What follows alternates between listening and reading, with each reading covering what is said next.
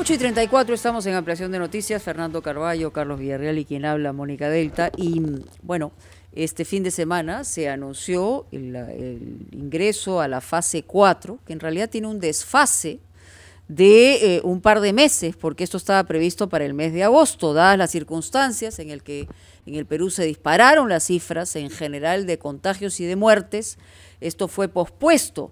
Pero, ¿qué cosa entraría en actividad? Las tiendas en general, restaurantes todavía con aforos digamos, a la mitad, servicio de transporte marítimo de pasajeros, servicio de transporte de pasajeros y carga, vía terrestre, transporte aéreo, que empezaría a partir de las, del 5 de octubre, progresivamente, y algunos destinos, por supuesto, y otros eh, servicios en general. Hay algunos que no entrarán en vigencia, como son todos aquellos que aglomeran una cantidad de gente. Sin embargo, ¿Qué significa esto? Porque lo cierto es que, como habíamos señalado al inicio, hay 18 de 24 regiones que están en una franca recesión, el impacto que hay en el desempleo es muy grande eh, y la situación económica no ha tenido pues una respuesta positiva y por encima de todo ello hay una amenaza de un rebrote. Estamos con el señor eh, Miguel Vega Alvear, expresidente de Confiemp, y eh, representa obviamente a empresas de grupos de trabajo multisectorial de naturaleza temporal que este, tiene que ver con el Ministerio de Economía y se formulan estrategias, ¿no? Para ver de qué manera progresivamente se reanudan todas las actividades en nuestro país.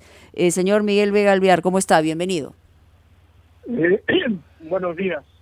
Bueno, ante todo, soy ex presidente ex. de soy el expresidente más antiguo en vida, y represento a la CONFIEP, bueno, la Sociedad Nacional de Industrias, ADES y la Cámara de Comercio, que son los que propusieron al gobierno y me nombraron representante del sector privado. Sí, quizá no lo pronuncié bien, pero sí dije que era ex presidente. Bueno, pero soy del sector privado que involucra al, sector formal, informal, micro, pequeño, mediano y grande. Claro. La responsabilidad es alta y obviamente, tal como lo acaba de describir en la, presentación del problema, efectivamente la fase 4 era una fase prevista para el primero de agosto y la comisión nos reunimos obviamente claro que en la primera quincena de agosto hubo una crisis política dos gabinetes ministeriales votos de confianza en el Congreso y que había todavía eh, necesidad de saber qué políticas y qué estrategias iba a tener el nuevo Consejo de Ministros.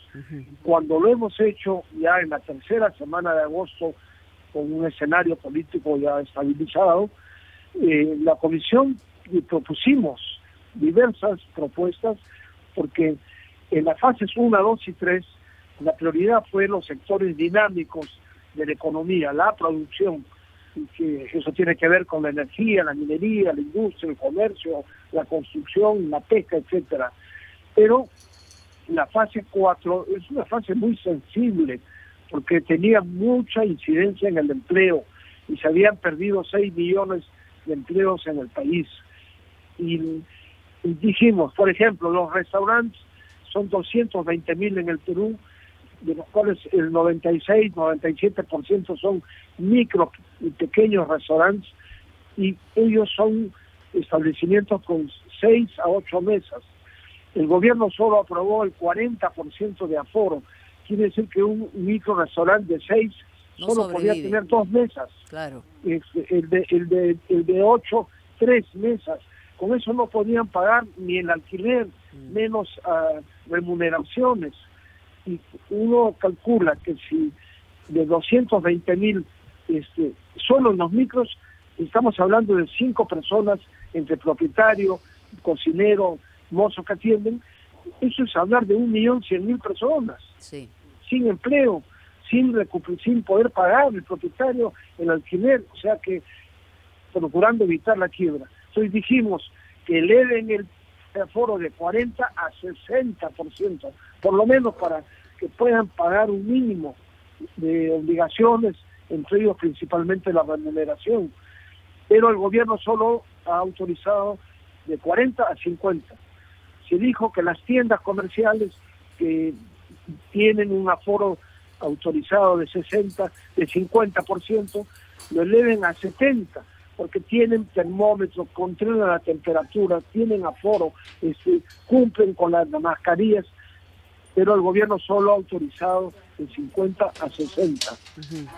Con respecto al tema de los días domingos, la comisión ha reiterado la conveniencia por razones propias del efecto del empleo de que en los días domingos no haya toque de queda, como lo aprobó el gobierno, pero ha prohibido los vehículos. Entonces, pero entonces, ¿en qué situación estamos frente al inicio de esta fase? Eh, eh, eh, en una crisis social muy severa, porque los, las tiendas el domingo representan el 50% de sus ventas y solo caminando la gente puede acceder a lugares muy próximos para sus necesidades mayores, pero no los centros comerciales. Igual los gimnasios vienen reclamando hace seis meses, son cadenas que tienen asistencia médica, lugares que están controlados, hay aforo entre las máquinas. Este, esas cadenas internacionales hemos consultado con los países vecinos, todos fronterizos, hace tiempo que circulan, digamos, funcionan los gimnasios, pero los gimnasios tienen una virtud, según todos los médicos, el mayor generador de defensa del cuerpo humano es el ejercicio físico. Claro, señor Vega Alvear, eh, nos está haciendo una lista de puntos específicos. Quizás sería útil que nos diga usted dónde se puede generar más empleo, qué es lo, sector, qué es lo que el sector privado ha diagnosticado para que se tomen medidas favorables a que no hayan 8 millones de, de compatriotas que han perdido sus puestos de trabajo. Bueno, es que justamente en el sector servicios está concentrado pues un 60% de esos 6 millones de empleos perdidos. Eso es lo que estoy mencionando. Por eso siempre dijimos, tenemos que respetar las normas sanitarias que son indispensables. Y las básicas, evidentemente, son la mascarilla, el aforo, la temperatura y todo lo que se ha ido mencionando. Para ello se dijo protocolos sanitarios.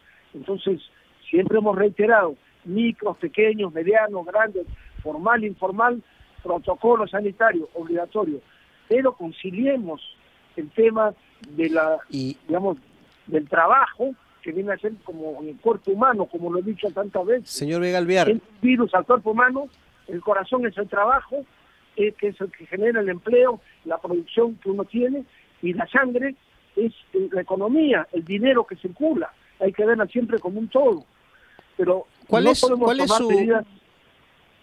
Señor Vega ¿cuál es su, expectativa respecto a, este proceso de, recuperación o reactivación económica en el, en el país? Eh, a ver, proyectemos a fin de año, primer trimestre del 2021. Eh, las cifras, es cierto, no han sido oh, muy esperanzadoras. Eh, según el comercio, hoy 18 de 24 regiones han entrado en recesión. Entonces, ¿cómo vislumbra este panorama a futuro, en el corto plazo?